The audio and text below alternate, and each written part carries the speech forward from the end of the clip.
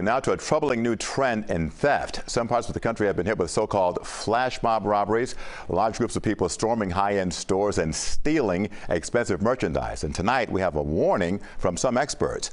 CBS 4's Bobeth Yates joins us live with more on this story. Bobeth.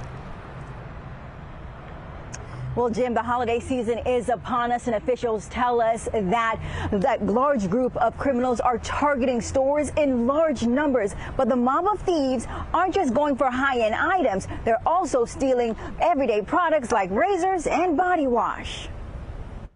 We've seen organized shoplifting, certainly.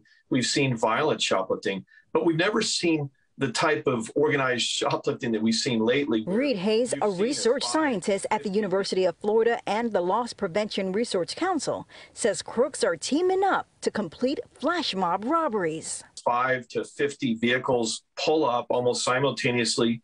As many as 30 of the occupants jump out with sledgehammers, wire cutters, and other tools. They know exactly where they're going to go in the store and they strip large areas of even very large department stores of a lot of desirable goods. The Louis Vuitton store at the Oakbrook Center, Illinois, was among the most recent to fall victim. According to police, a crew of 14 criminals worked together to clean out the store, then drove away in three vehicles. Another large robbery crew hit high-end stores in a Chicago area mall. Workers there described the heist. It was really scary. It was. It's. I mean, we are kind of used to, you know, just a lot of kids, but not nothing in that capacity. It was. It was very scary. Back in South Florida, stores we contacted were on high alert, adding extra security measures. Some even locking their doors until guards authorize access.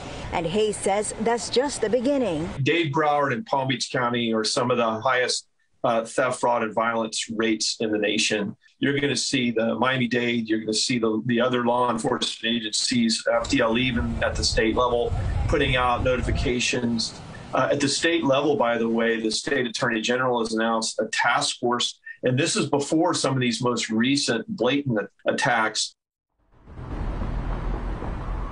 Now, officials say they also want shoppers to be on high alert, keeping their wallets and handbags close by and not leaving shopping bags visible in their cars. Bobeth Yates, CBS 4 News Tonight.